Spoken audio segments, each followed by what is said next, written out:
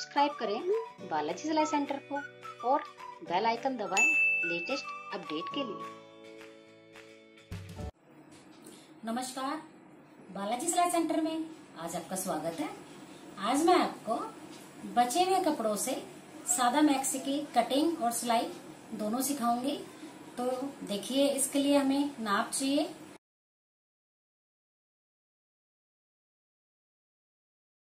किस नाप से हम तैयार करेंगे? सबसे पहले देखिए, लंबाई है 46 छाती है 36 तीरा है 14 बाजू की लंबाई है सात और गोलाई है 14 तो देखिए, इसके हिसाब से हमने कितना कितना, कैसे कपड़े लिए हैं? देखिए, मेरे पास ये जो कपड़े पड़े हुए थे, बचे हुए, इससे मैं कैसे तैयार करूँगी? वो देखिए आप सबसे पहले। ये देखिए, मैंने दो कलर के कपड़े लिए हुए हैं, एक आगे के भाग के लिए और एक पीछे के लिए। तो सबसे पहले आप देखते हैं इसकी कितनी लंबाई है। और इसमें हमें कितना कपड़ा जोड़ना पड़ेगा ताकि हमें लंबाई मिल सके। तो देखिए ये जो इसकी जो लंबाई है वो है 40 इंच। ये एक मीटर का कपड़ा है एक एक मीटर के ही दो कपड़े हैं। अब हमने क्या करना है इसकी लंबाई बढ़ाने के लिए क्योंकि लंबाई हमारे पास आ, मार्जिन को हटा के छियालीस है। तो मार्जिन भी हमें दो इंच का लेना पड़ेगा। इसलिए हमें ऊपर कितना कपड़ा लगाना है ताकि इसकी जो लंबाई है वो पूरी बन जाए। और चौड़ाई हमें इस हिसाब से पंद्रह इंच की चाहिए। अधिकतर जो मैक्सी होती है, उसमें पंद्रह या सोलह इंच की मैक्सी बहुत अच्छे से तैयार हो जाती है चौड़ाई में। तो देखिए, ये सोलह इंच है। चौड़ाई इसकी सोलह इंच है और जो इसकी लंबाई है वो एक मीटर की है, चालीस इंच की। तो इसके लिए तो हमने दो टुकड़े ले लिए हैं। इसमें मैं घेरा तैयार करूँगी। अब इसके ऊपर मैं जो चोली बनाऊँगी, उसके लिए मुझे कपड़े चाहिए। तो वो भी मैंने दो ही लिए हैं देखिए। एक आगे के लिए और एक पीछे के लिए। ये भी टुकड़े ही थे। ये टुकड़े मैंने कितने हिसाब से निकाले और कैसे निकाले, देखिए। इसकी जो लंबाई है, वो मैंने मार्जिन के साथ आठ इंच ले ली है। चौड़ाई जो मैंने इसकी जो ली है, चौड़ाई मैंने ली है छाती का चौथा जमा मार्जिन। आप मार्जिन कितना भी डाल सकते हैं कपड़े के हिसाब से, मैंने मार्जिन इसमें दो इंच डाला है। क्योंकि छाती है छत्तीस, उसका चौथा हो गया नौ। और दो मैंने मार्जिन डाल दिया। तो मैंने ग्यारह इंच का ये टुकड़े ले लिए। देखिए, इस तरीके से मैंने ग्यारह ग्यारह इंच के दो टुकड़े ले लिए एक आगे के लिए और पीछे के लिए। अब हमें क्या करना है? सबसे पहले हमने इसको इस तरीके से इस कपड़े के ऊपर, घेरे के ऊपर, इस घेरे के ऊपर हल्का सा आधे इंच पे हमने इस तरीके से इसको ऐसे रख देना है। अब रखने के बाद में हमने क्या करना है? खुले साइड से। ये बंद साइड है और ये खुला साइड है। इस साइड से हमने अब इसका ड्रॉ करना है। ड्रॉ कैसे करना है? सबसे पहले हमने इसमें तीरा लिया। तीरा चौदह था तो उसका आधा हमने ये सात ले लिया। और सात ही हमने इस तरीके से करना है। ये सिल के मार्जिन हमारा आधा इंच का इसके साथ सिल जाएगा तो ये सात ही रह जाएगा। उसके बाद ये देखिए, इसको हमने इस तरीके से ये हमारी बगल की लाइन। आ गई अब हमने क्या करना है? इसकी जो गुलाई बनानी है, हमने कहा से बनानी है? हमने बनानी है इस कोने से दो इंच। इस तरीके से दो इंच का हमने ये निशान देना है। इस कोने से ऊपर से दो इंच का। इस तरह। अब हमने क्या करना है?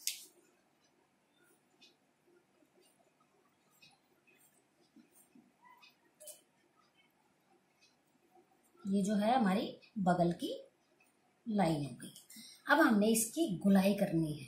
उसके बाद हमने क्या करना है? यहाँ से हमने इसकी इस तरीके से, जैसे हम गुलाई देते हैं, उसी तरीके से इसकी गुलाई देनी है।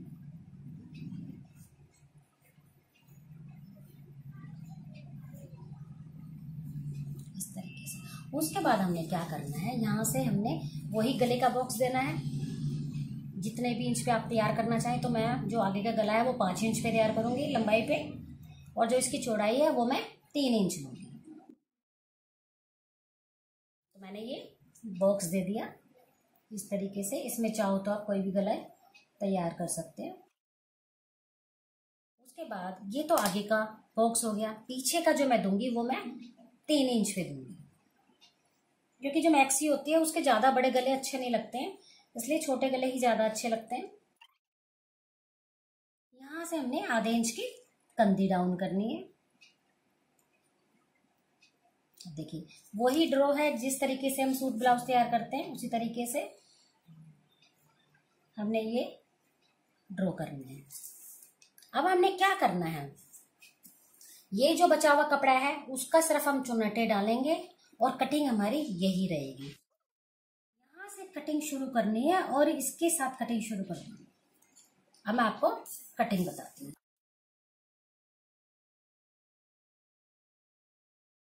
इसके अंदर हमने ये थोड़ी सी कटिंग करनी है। उसके बाद जो भी कटिंग होगी हमारी ऊपर जो सात इंच का कपड़ा है, उसके साथ ही कटिंग होगी सारी। ये हमने पीछे का गला काट दिया। अब पीछे का जो पार्ट है वो हम साइड कर देंगे और जो आगे का है, उसमें हम पाँच इंच की इस तरीके से गुलाई देंगे। उसके बाद थोड़ा सा यहाँ से बगल भी हम इसी तरीके से हल्की हल्की इसी आकार में इसको गोल कर देंगे। ये पीछे का हो गया हमारा और ये हमारा आगे का हो गया। इस तरीके से हमने कटिंग कर दी। अब मैं आपको इसको सिलना बताती हूँ किस तरीके से हम इसको सिलेंगे। सबसे पहले हम क्या करेंगे?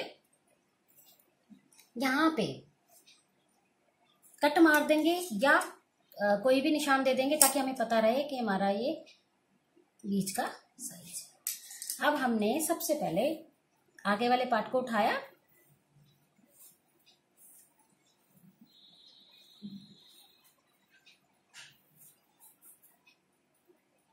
ये देखिए, आगे वाले पार्ट को हमने इस तरीके से उठाया और हमने क्या करना है? ये जो हमने बीच का जो निशान लगाया था,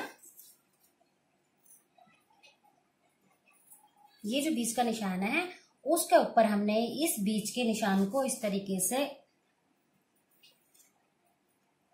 ऐसे रखना है। इस तरीके से।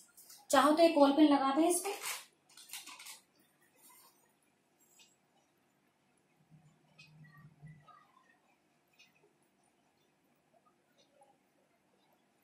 ये देखिए अब हमने क्या करना है? ये वाला किनारा इसके साथ किस तरीके से जोड़ेंगे, ये देखेंगे हम।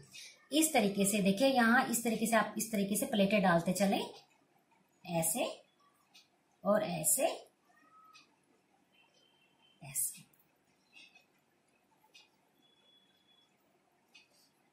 ये देखिए, ये जो हमारी प्लेटें आई है, ये देखिए, बिल्कुल बीच में हमारी प्लेटें आ गई। और ये साइड हमारी बिल्कुल इक्वल हो गई है। ये कोना और ये कोना हमारा बिल्कुल इस तरीके से इक्वल हो गया। ऐसे ही इस साइड से हमने, जैसे अगर इस साइड मूव किया तो इसका भी हम इसी तरीके से मूव करेंगे प्लेट का, ऐसे। और इस कोने से, इस कोने तक हम इस तरीके से इसको मिलान करके इसको सिल देंगे। ये देखिए इस तरीके से। हमारी जो प्लेट होगी, वो बीचों बीच डलेगी। इस साइड से नहीं डलेगी और इस साइड से नहीं डलेगी क्योंकि ये हमारी बगल आ जाएगी इस साइड में और हमारी सिलाई भी आ जाएगी।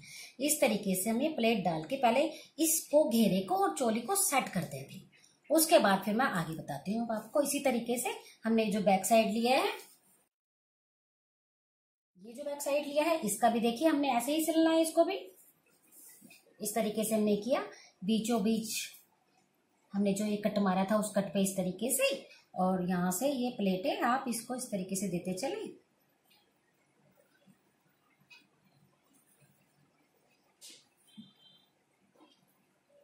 प्लेटें हमें जब तक डालनी, जब तक ये वाला कोना और ये वाला कोना हमारा बराबर ना आ जाए। ये देखिए इस तरीके अब मैं आपको सिल के दिखा देती हूँ। देखिए इस तरीके से हमने ये जोड़ दिया है, देखिए। ये जो हमने चोली ली थी सात इंच की, वो इस घेरे के साथ इस तरीके से जोड़ के हमने ये प्लेटें डाल दी थी। ये देखिए इस तरीके से। और इस साइड से हमने सारा जोड़ दिया अब अब देखिए आप, ये जो हमने सात इंच की ऊपर का ये हिस्सा लिया था, वो देखिए अब सिल के ये सात ही आया ये देखिए सात आया बाकी हमने जो यहाँ से गुलाई की थी, और वो इसके साथ हमने सिल दिया। तो देखिए जो हमारी बगल की जो गुलाई होती है, वो इस तरीके से, जैसे है, इस तरीके से ये गुलाई हमारी निकल गई। अब हमने क्या करना है? अब हमें आगे और पीछे की। ये देखिए, पीछे का भी हमने इस तरीके से तैयार कर दिया। ये देखिए, ये भी हमने पीछे का तैयार कर दिया। अब हमने क्या करना है? आगे और पीछे की इस तरीके से हमने कंदियाँ जोड़नी है।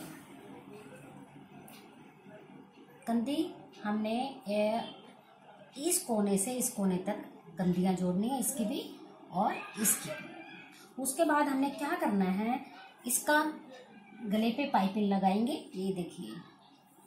ये हमने और कपड़े की पाइपिंग कटिंग कर ली है और इसकी कंदियाँ जोड़ने के बाद में हमने इस तरीके से इसकी पाइपिंग लगा के इसका गला तैयार करना है। अब उसके बाद देखिए अभी मैं आपको सिल के दिखाऊँगी। बाजू की कटिंग किस तरीके से करेंगे देखिए। अब हमने सबसे पहले क्या करना है? इस कोने से और इस कोने तक हमने गुलाई देखनी है, कितनी गुलाई है। तो देखिए, इस तरीके से आपने ऐसे गोल गोल करते हुए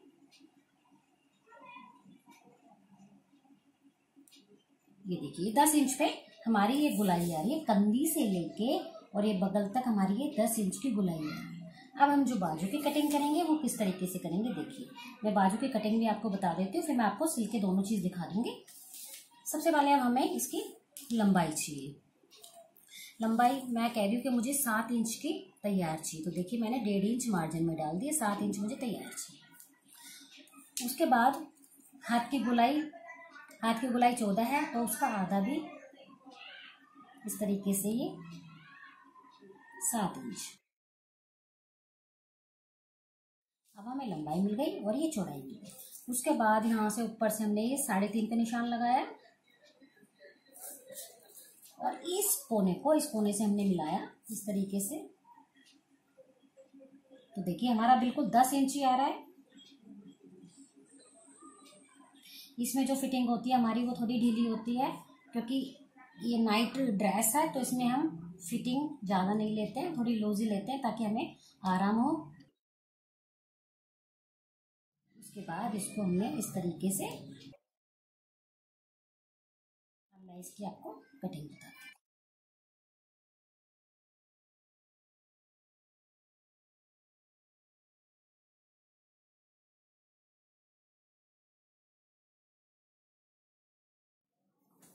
देखिए, इस तरीके से कंदी जोड़ेंगे पहले।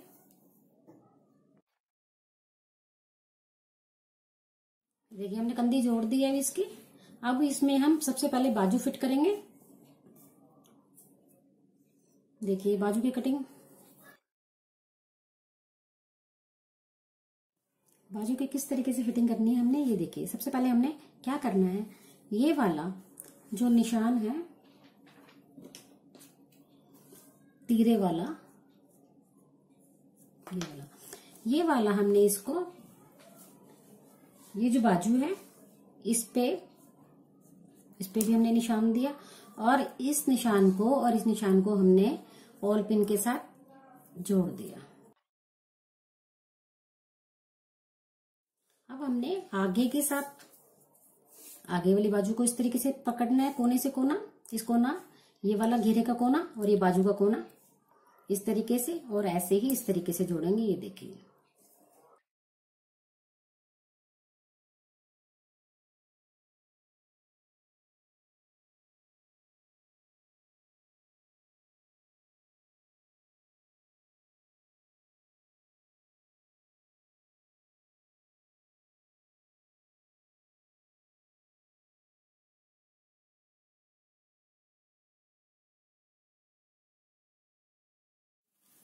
ये देखिए, बाजू हमने इस तरीके से जोड़ दिया। अभी ये बाजू जो है,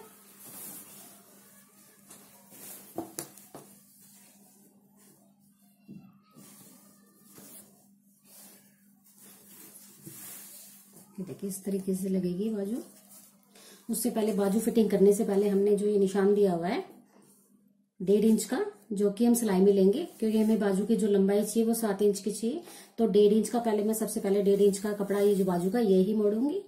इस तरीके से एक बार फोल्ड किया, फिर दोबारा इस तरीके से फोल्ड करके जोड़ना देखिए, बाजू लगाने के बाद हमने अब फिटिंग करनी है इसकी। बाजू हमने देखिए दोनों लगा दी इस तरीके से। अब हमने इसकी कैसे फिटिंग करनी है? इस तरीके से पहले बाजू से बाजू को पकड़ेंगे। और जितनी हाथ की गोलाई होती है, उस पर हमने इसका निशान लगाना है। इसकी जो हाथ की गोलाई थी, वो सात इंच पे आई थी। चौदह गोलाई थी, उसका आधा सात। इस तरीके से हमने ये उसके बाद हमने क्या करना है? यहाँ से हमने ये जो घेरा है, इसको भी आगे और पीछे को इस तरीके से बराबर करना है। और ये जो सिलाई है, ये बाजू तरफ़ इस तरफ़ ऐसे रखेंगे और निशान लगाएँगे हम। ये देख लें या तो ये कितना मार्जिन है? ये एक इंच का मार्जिन है। तो ये एक इंच का ही इस तरीके से निशान लगाना है हमने। पूरी मैक्सी पे।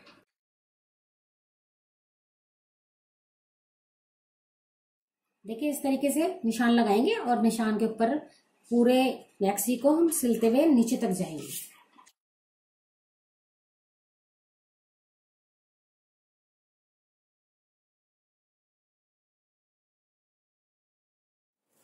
देखिए, हमने घेरे की मुड़ाई भी इस तरीके से कर दी है। थोड़ी थोड़ी कर दी हमने नीचे से।